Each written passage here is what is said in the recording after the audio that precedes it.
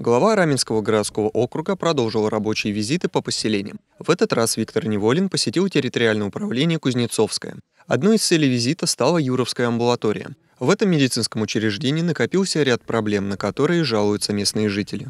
Этого процедурного нету этого в амбулатории, нет детского врача, нет такого врача, у нас приходящий врач с Комбикормова, Алиева. У нас ничего нет, и хотят еще закрыть ее. Как нам жить дальше? Вот вы, представляете, у нас очень много пожилых людей. Медицинские работники обращают внимание на то, что помещению необходим ремонт. Свет там Ну, в общем, марафет навели более-менее, да, но видите, Полы, смотрите, проваливаются. Он стоит, может провалиться туда, понимаете? И все вот такое вот, оно здесь все шаткое.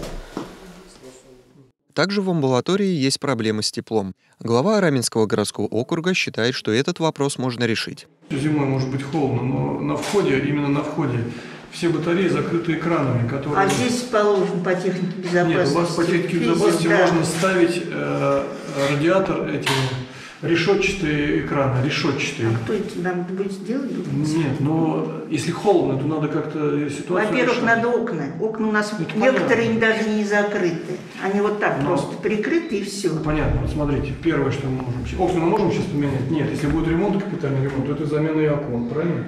Значит, э, мы тогда ждем. Что ждем? Включение в программу. Ждем в тепле или в холоде? В холоде. Почему? Потому что у нас экранами все закрыто. Снимаем эти экраны, ставим решетчатые экраны. Давайте мы поможем Ну, решетчатыми так, экранами. да, А и ждем в тепле. Местные жители и сотрудники амбулатории надеются, что после визита главы Раменского городского округа проблемы будут решены.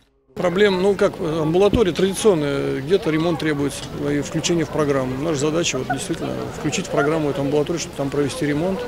И в амбулатории нет специалистов, нет э, физиотерапии, да, где, в общем-то, сейчас, правда, один из работников будет проходить обучение, в октябре там эти процедуры уже можно будет открыть. Дополнительно требуется терапевт. Мы уже поговорили об этом, сейчас будем его прорабатывать этот вопрос. Вопрос с анализами, чтобы приезжать детям, например, взрослые могут куда-то доехать, а детям брать анализы, опять же, не очень удобно, возить детей далеко в Раменск неудобно. Ну и ряд других вопросов рабочие будем прорабатывать. Игорь Чернышов и Сергей Дружинин для программы «Городские вести».